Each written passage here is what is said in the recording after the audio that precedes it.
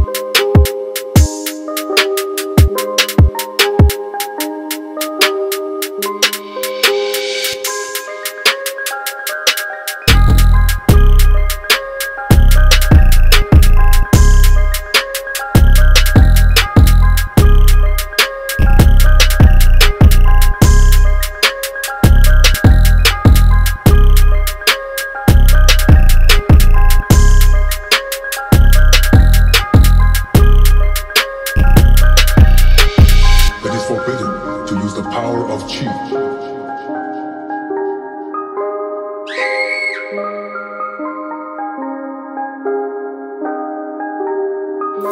Yuchiko.